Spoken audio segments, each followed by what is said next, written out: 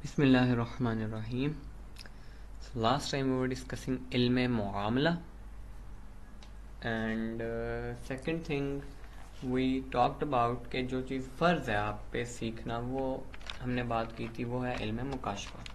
यानी पहले हमने बात की कौन सा इल्म सीखना फ़र्ज़ है उसमें हमने दो uh, क्या कहते हैं डिवीजन्स कर दी कि एक इल्म मामला और एक इल्म मुकाशफा। सो लास्ट टाइम हमने इल्म मामला क्या होता है बहुत डिटेल से डिस्कस किया। आज हम इल्म मुकाशफा की बात करेंगे। And these both knowledge are included in the knowledge of आखिरा। मतलब uh, हमने स्टार्ट में जो बात की थी ना कि इल्म वो होता है कि जो आपको आखरत में कामयाब करवा दे जो आपको जन्नत में एंटर करवा दे दोजक से बचा ले दैट इज़ योर नॉलेज तो वो वाला इल्म ये दो तरह का होता है ठीक है? यानी बेसिकली ये इल्म तरीके आखरत है ठीक है? बेसिकली ये इल्म है। इल्म है ही वो जो आखरत के फ़लसफ़े पे बेस्ड है ठीक है?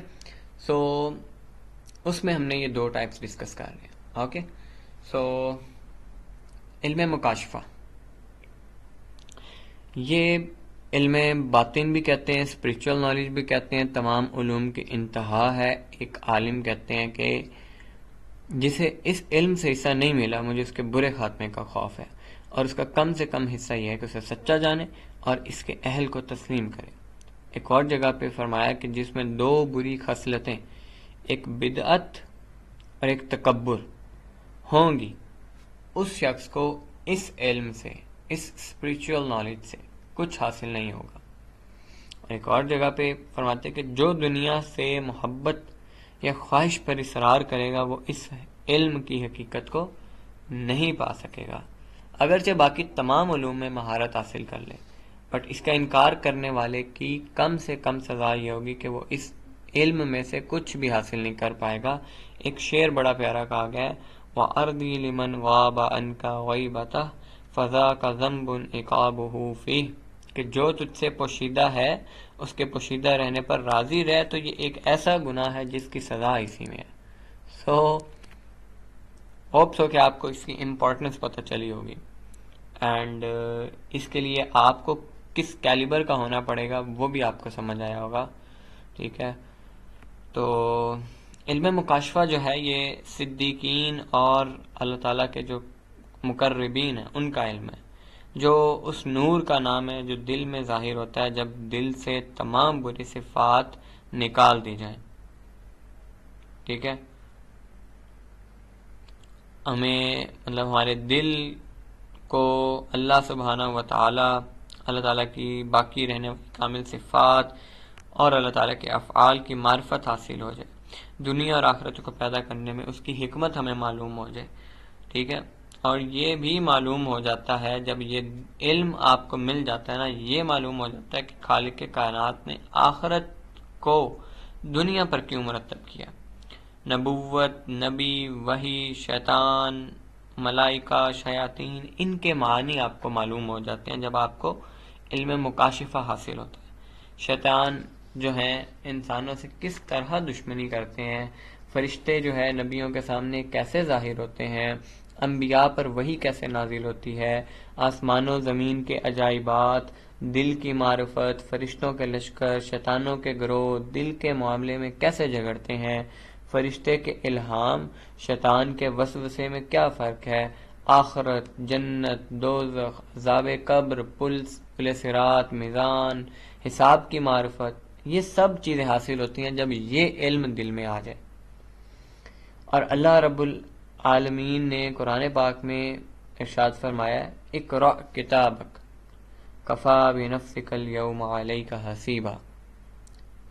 फरमाया जाएगा कि अपना अमाल नमा पढ़, आज तो खुद ही अपना हिसाब करने को बहुत है। और एक जगह पे अल्लाह ताला ने फरमाया वाइन दार आखिरत लहीवानु लव कानू या बेशक आखरत का घर ज़रूर, वही सच्ची ज़िंदगी है, क्या अच्छा था अगर जानते। और अल्लाह से मुलाकात, अल्लाह का दीदार, उसका कुर्ब पाने, उसके जवार रहमत में आने, अल्लाह के मुकर्रब फरिश्तों की रफाकत अम्बिया और मलाइका से मुलाकात की सआदत, जन्नतियों के दर्जात में जो डिफरेंस है, उसका मफहूम, ये सब चीज़ें वाज हो जाती हैं। यहाँ तक कि, आता है कि बाज जन्नती बाज को ऐसे देखेंगे जैसे आसमान के बीच में चमकता सितारा दिखाई देता है। इसके अलावा और बहुत सारी एक्सप्लेनेशन मौजूद हैं। ठीक है लोगों की हालतें मुख्तलिफ़ हैं। और बाज़ लोग तो ये ख्याल करते हैं कि तमाम मिसालें हैं जो अल्लाह ताला ने आ, अपने नेक बंदों के लिए इनाम तैयार किए हैं उन्हें आ, क्या कहते हैं समझाने के लिए कि उन्हें ना किसी आँख ने देखा ना किसी कान ने सुना ना किसी इंसान के दिल पर उनका ख्याल गुजरा। तो मखलूक के लिए सिवाय सिफात और नामों के, वो कहते हैं जन्नत में से कुछ नहीं है। बाज़ का एतकाद है कि इनमें से कुछ तो मिसालें हैं। कुछ अल्फाज से समझे बने, जाने वाले हकाइक है। और बाज़ का ये गुमान है कि अल्लाह की मार्फत की हद यह है कि उसकी मार्फत से आजिज़ होने का इकरार कर ले बंदा। और बाज़ में अल्लाह ताला की मार्फत में बड़ी बड़ी बातें उनका दावा किया है। बाज़ ने कहा कि अल्लाह की मार्फत की इंतहा वो है, जहाँ तमाम आवाम के एतकाद की इंतहा हो जाती है, और वो ये कि अल्लाह अज्जा मौजूद है। आलिम है, कादिर है, सुनता, देखता, कलाम फरमाता है। मतलब इल्म मुकाशफा मतलब कशफ से निकला मतलब ऐसा इल्म के पर्दा उठ जाए, हक खुलकर ऐसा वाजे हो जाए, गोया आँखों से देख रहे हैं। किसी शक व शुबा की गुंजाइश बाकी ना रहे। और अगर दिल का आईना दुनिया की गंदगियों के वजह से नापाक और जंग आलूद ना हो तो फिर ये चीज़ इंसान के जौहर में पॉसिबल है। और इल्म तरीके आखिरत से मेरी मुराद भी यही है कि ऐसा तरीका जाना जाए जिससे दिल का आईना जो खलकत में लोहे की तरह है, वो इन तमाम बुरे अखलाक से, इन तमाम खबासतों से, जो पर्दे वाले हैं, जो पर्दा डालते हैं, उनसे पाक साफ़ होकर चमक उठे। जो अल्लाह की ज़ात सिफ़ात और अल्लाह की मार्फत में हिजाब हैं, वो चीज़ें ख़त्म हो जाए दिल से। तो दिल के आईने की पाकिजगी और सफ़ाई का ज़रिया ये है, पहला, कि बंदा ख्वाहिशात से रुक जाए। दूसरा अम्बिया कराम के तमाम अहवाल में उनकी पैरवी करें। ये दो काम कर लें तो जिस कदर दिल की सफ़ाई होती जाएगी, उसमें हक का हिस्सा आता जाएगा। उसी कदर इसमें हकाइक चमक उठेंगे। ठीक है? और ये काम आपको कोशिश करके ही मिलेगा। ये बगैर कोशिश किए, सिर्फ़ अपने बिस्तर पे लेटे, ये चीज़ पॉसिबल नहीं है। रियाजत करनी पड़ेगी इसके लिए। ठीक है?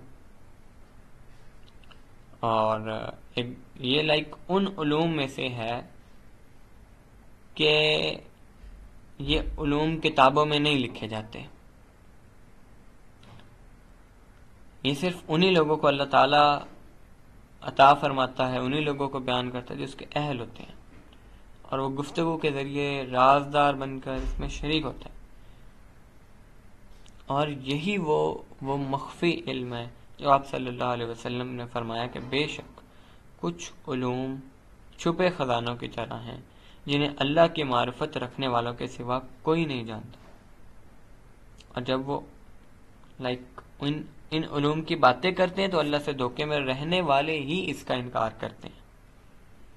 लिहाजा तुम ऐसे किसी आलिम को हकीर ना जानो जिसे अल्लाह ने इन उलूम में से कुछ अता फरमाया क्योंकि जिसे अल्लाह ये इल्म अता फरमाता है, उसे हकीर नहीं रहने देता। ठीक है? और, इल्म मामला हमने जो पहले डिस्कस किया, वो और था। अब जो इल्म तरीके आखरत में इल्म मामला आता है ना, ये दिल के अहवाल का इल्म है। अब इन अहवाल में जो अच्छे हैं मतलब जैसे सब्र, शुक्र, खौफ, रजा, जहद, तकवा, कनात, सखावत हर हाल में अल्लाह के असनात को पहचानना, हुसन जन, एहसान, हुसन इखलाक, हुसन माशरत सच्चाई अखलास इन अहवाल की, हकीकतों की मार्फत, इनकी तारीफ़ें, जिन इसबाब से ये हासिल होते हैं, उनका नतीजा, अलामत, इनमें जो कमज़ोर हो, उसका इलाज कि जिससे वो कवि हो जाए, जो ख़त्म हो चुके वो हासिल हो जाए, तमाम बातों की मार्फत इल्म आखरत में से। और इन अवाल में जो बुरे हैं लाइक गुर्बत का डर, जो मुकद्दर में है, उस पर ना खुश होना, कीना है बुगज है, हसद है, धोखा है, बुलंदी की ख्वाहिश है, तारीफ़ चाहना है, दुनिया से लुत्फानंदोज होना है, ज़्यादा अरसे तक ज़िंदा रहने की ख्वाहिश तकबर है रिया है, गुस्सा है, नफरत, अदावत, दुश्मनी, लालच बुखल ख्वाहिश, इतराना, इंतहाई शरीर होना, सुस्त होना, मालदारों की तज़ीम करना, गरीबों को कीर जानना, फ़ख्र करना, खुद पसंदी, आगे बढ़ने की ख्वाहिश, हुसन जबाल में मुकाबला करना, इनाद और तकबर की वजह से हक को ना मानना, फजूलियात में गौर फ़िक्र करना, ज़्यादा बातें पसंद करना, शेखी मारना, लोगों के लिए जीनत इख्तियार करना चापलूसी करना, गुरूर करना, लोगों के अबों के पीछे पड़ना, अपने अबों को भूल जाना, दिल से रंजो गम मिट जाना, खौफ खुदा का निकल जाना, नफ्स को जब जिल्लत पहुँचे तो उसके लिए शिद्दत से मुकाबला करना और हक की मदद में कमज़ोर रहना, बज़ाहिर दोस्त बनाकर दिल में दुश्मनी रखना, अल्लाह की खुफिया तदबीर से इस बारे में बेखौफ रहना कि जो उसने अता फरमाया वो कहीं सलब ना कर ले। इबादत में सुस्ती करना, फरेब है, ख्यानत है, धोखाबाजी है, लंबी उम्मीदें हैं, दिल की सख्ती है, भोंडापन है दुनिया मिलने पर खुश होना, छिन जाने पर अफसोस करना, लोगों के साथ रहने से लाइक मानूस होना, उनके जुदा होने से वहशत और घबराहट महसूस करना बद खुल्क तुंद मिजाज होना, गुस्सा, बेशर्मी, बेहयाई, संग दिली, बेरहमी। तो इस तरह की जीकर तमाम जो बुरी कलबी सिफात हैं, जो बेहयाइयों और जितने भी हराम काम हैं, उनकी बुनियाद हैं। इनके मुकाबिल जो अच्छे अखलाक हैं वो तमाम नेकियों का क्या है सरचश्मा तो लाइक इन तमाम उमूर की तारीफात डेफिनेशन इनकी रियलिटी इनके कॉजेज इनके रिजल्ट्स इनके ट्रीटमेंट ये कंप्लीट चीज़ें इल्म आखरत कहलाती हैं। और आखरत के फतवे के मुताबिक ये फ़र्ज़ ऐन है। और इनसे एराज करने वाला आखरत में अल्लाह ताला के, कहते हैं, अजाब से हलाक होगा। जैसा कि उलमाए दुनिया के फतवे के मुताबिक ज़ाहरी अमाल से एराज करने वाला दुनियावी बादशाहों की तलवारों से हलाक होता है, इसी तरह इल्म आखरत के जो उलमा है उनके फतवे के मुताबिक कि जिन्होंने ये इल्म हासिल ना किया, जो अभी हमने डिस्कस किया, वो फिर आखरत में हलाक होगा। तो फ़र्ज़ ऐन में फ़ुकहा की नज़र जो है ना, वो दुनियावी मफाद की नस्बत से होती है। जबकि ये जो इल्म है, ये आखरत की बेहतरी के लिए होता है। अगर किसी फ़कीर से आप इन सिफात में से किसी का पूछ लें हती कि मिसाल के तौर पर इखलास या तवक्ल या आप रियाकारी से बचने की सूरत ही के मुतालिक पूछ लें तो आप देखेंगे कि वो फ़कीर बताने में ज़रूर तवक़ करेगा। हालाँकि ये उस पर फ़र्ज़ ऐन है। और इससे अगर कोई गफलत बरतता है तो आखरत में उसकी हलाकत कन्फर्म है। अगर इससे आप फ़कीर से लियान, आजकल के जो मुफ्ती हैं उनकी बात करो, लियान, जिहार घुड़दौड़ तीर अंदाजी के बारे में पूछे जाएँगे तो वो आपको बड़ी, बारीक, दकीक, कई जुजियात बयान कर देंगे कि कई ज़माने गुजरे, मगर इनकी ज़रूरत ना पड़े। ज़रूरत पड़े भी तो शहर में उनके जानने वालों की तादाद इतनी ज़्यादा हो गई लाइक ज़रूरत ही नहीं है तो इसे मुशक्क़त से बचा लेंगे वो। तो ये इन तमाम जजियात में दिन रात मुशक्क़त उठाता रहेगा, याद करने, पढ़ने में मशगूल होकर उस चीज़ से गाफिल हो जाएगा जो दीन के मामले में उसके लिए अहम है। और अगर उस बारे में इससे रुजू किया जाएगा तो कहेगा कि मैं इसमें इसलिए मशगूल हुआ हूँ कि ये इल्म दीन है, फ़र्ज़ किफ़ाया इस तरह लाइक ये खुद को भी, दूसरों को भी इसके सीखने में धोखा देता है। हालाँकि अक्लमंद जानता है कि अगर इससे इसका मकसद फ़र्ज़ किफ़ाया में अपना हक अदा करना होता तो वो फ़र्ज़ ऐन को मुकदम रखता, फ़र्ज़ किफ़ाया को बाद में रखता। तो हमारे यहाँ तो चल यही रहा फ़र्ज़ किफ़ाया को हमने फ़र्ज़ आन पर मुकदम किया हुआ है। कई ऐसे नाम है इस टाइम पे भी कि जहाँ पे काफरों के सिवा कोई मुस्लिम नज़र ही नहीं आता लाइक किसी भी फ़ील्ड में टॉप पे।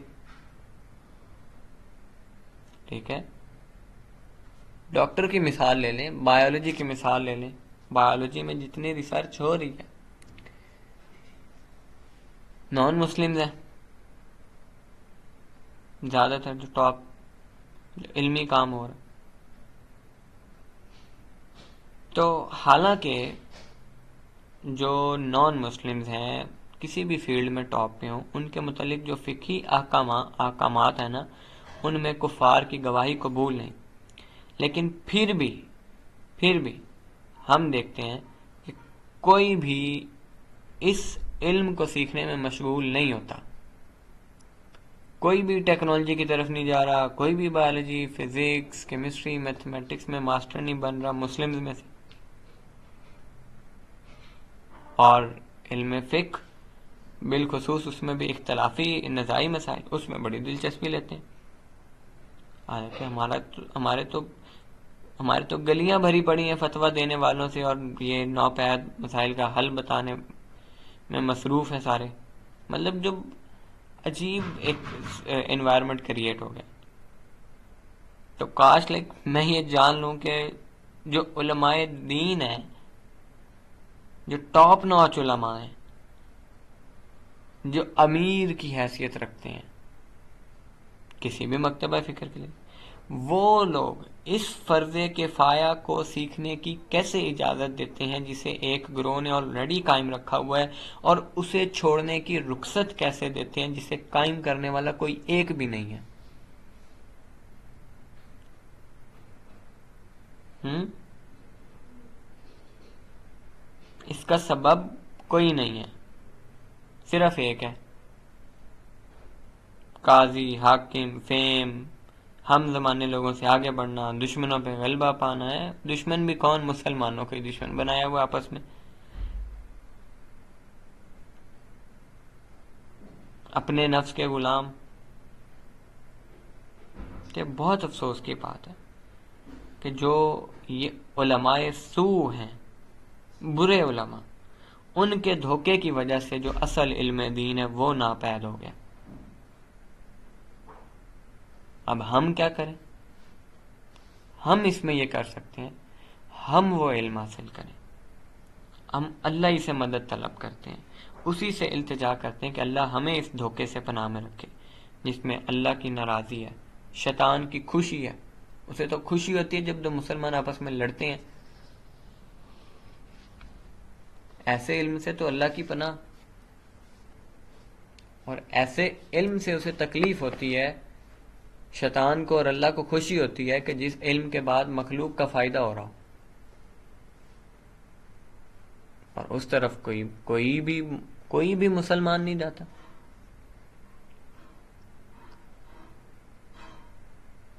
कि मैं कोई एक चीज़ ही बना जा, बना डालूं जो पूरी दुनिया के मसले हल करे।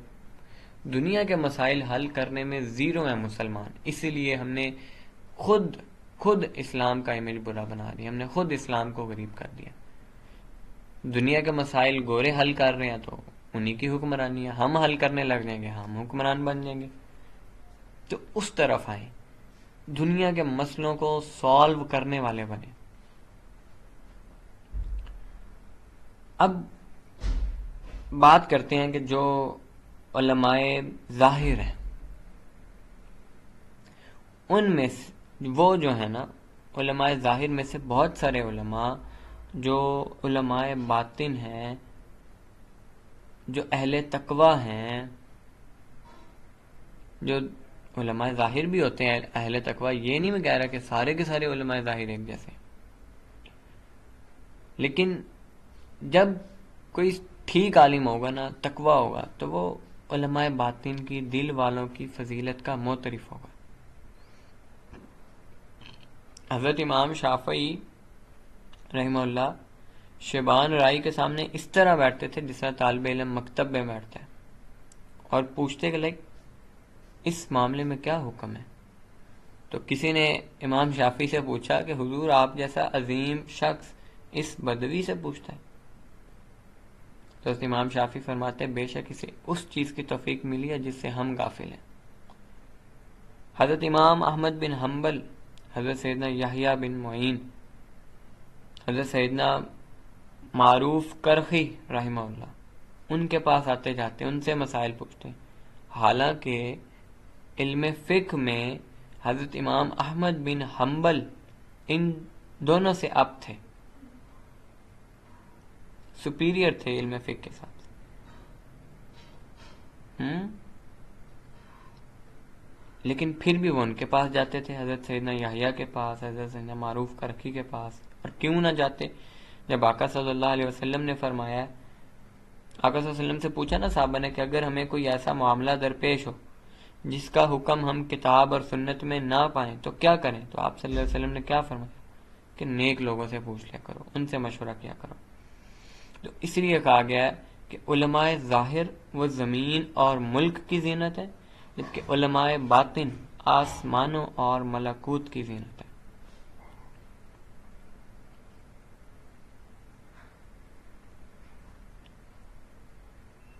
तो अब लाइक यहाँ पे क्वेश्चन आप ये उठाएँ। आपके माइंड में शायद क्वेश्चन आ रहा हो।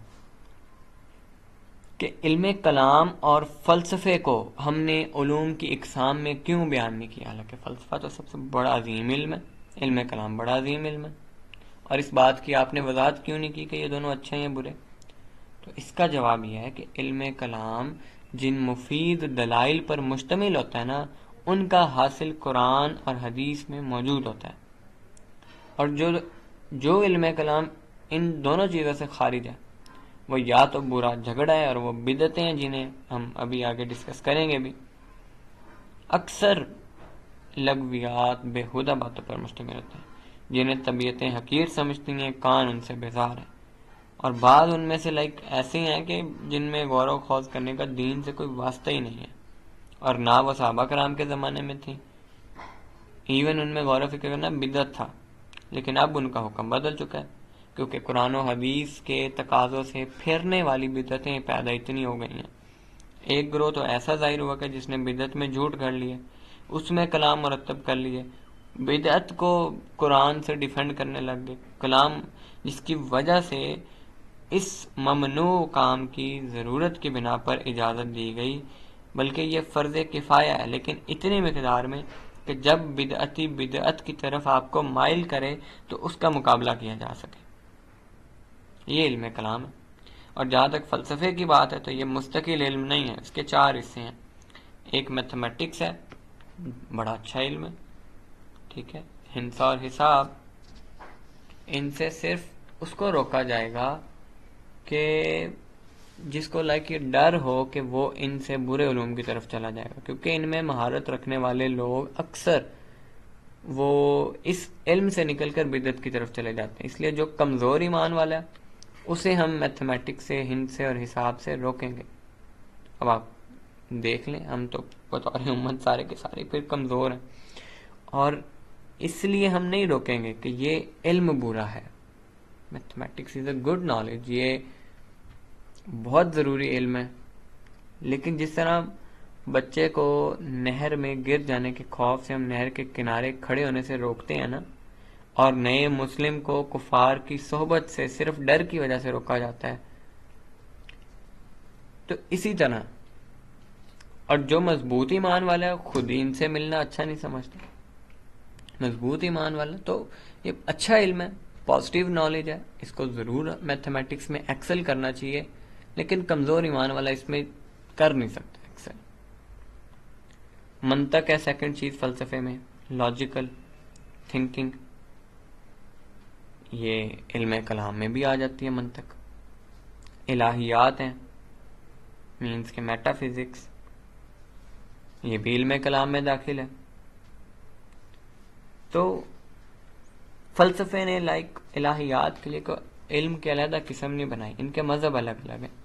कुछ अहल कुफर हैं, कुछ बेदती हैं।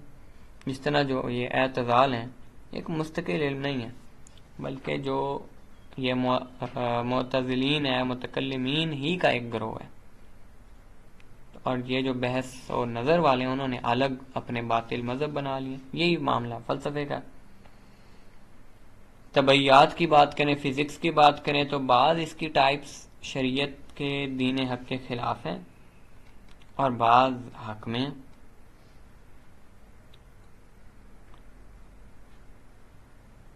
तो बाज इकसाम फिजिक्स की उनका इल्म जहालत है असल में। और तब बाज तबैयात की फिजिक्स की इकसाम है, लाइक जैसे जिस्मों की सिफात, उनके ख्वास, कैसे कोई वर्क के मैकेनिज्म को समझना, ये चीज़ें अच्छी हैं। ठीक है? लाइक जैसे जो डॉक्टर्स हैं वो गौर फ़िक्र करते हैं कि इंसानी बदन को जो बीमारी लग रही है, ठीक है? क्यों लगी? कैसे लगी? किस स्टेज पे है? सेहत की जहत से देखता है ना। तो इसी तरह जो फिजिसिस्ट होता है, वो तवैर तबदुल के अतबार से देखता है। तो ये फलसफे में अभी हम आगे डिफ्रेंशिएट करेंगे कि दुनियावी में से भी कौन सा इल्म अच्छा है, कौन सा बुरा है। उसके लिए मैं आपको एक वन वन लाइनर दे दिया कि जो इल्म, चाहे कोई भी हो, दुनियावी, आपको अल्लाह की मार्फत दे दे, आपको अल्लाह के करीब कर दे, आपका जन्नत का रास्ता आसान कर दे that is a beneficial knowledge और जो आपको इससे दूर कर दे दैट इज़ हार्मफुल नॉलेज जो आपके अकीदे को कमज़ोर कर दे, वो नुकसानदेह इल्म है, जो आपके आपके लिए माशरे के लिए फ़ायदेमंद ना हो, वो नुकसानदेह इल्म है। अल्लाह ताला से दूर कर दे, वो नुकसानदेह इल्म है। जैसे एक बंदा है, डॉक्टर बनता है तो वो इस इल्म से अपने लिए जन्नत भी, जन्नत के जाने का रास्ता भी बना सकता है और जहन्नुम का रास्ता भी। अगर ठीक इलाज करेगा लोगों का सिर्फ़ माफिया कंपनीज़ का एजेंट नहीं बन के रह जाएगा। मरीज़ का एहसास करेगा, आसानी पैदा करेगा। तो वो अपने लिए जन्नत के रास्ते आसान कर रहा है। और एक बंदा है, वो रिश्वत लेके अपना एसी लगवा रहा है, अपना प्रोटोकॉल ले रहा है, गाड़ियाँ ले रहा है आए रोज हराम माल खा रहा है ना। पार्टीज़ दे रहे हैं जी माफिया वाले सारे कंपनी फिर जी हमारी दवाई लिख के दे दें और वो लिख के दे रहा है उसको नहीं इस बात से गर्ज के मरीज़ जो आया है वो अफोर्ड भी करता है या नहीं या मरीज़ को इसकी ज़रूरत भी है या नहीं या जानबूझ के बीमार करने वाली दवाइयाँ दे देते हैं। तो वो फिर अपने लिए एक डॉक्टर है वो जहन्नुम के रास्ते खोल रहा है। ये तो उस, उस पर अपने पर्सन पे डिपेंड करता है। इसी तरह मैथमेटिक्स एस्ट्रोनॉमी फ़लसफ़ा कोई भी इल्म है सॉफ्टवेयर इंजीनियरिंग कंप्यूटर साइंस कोई भी इल्म है, ये आप पे डिपेंड करता है कि आप उसे किस तरीके से यूज़ करते हैं। आखरत को बनाने के लिए या बिगाड़ने के लिए।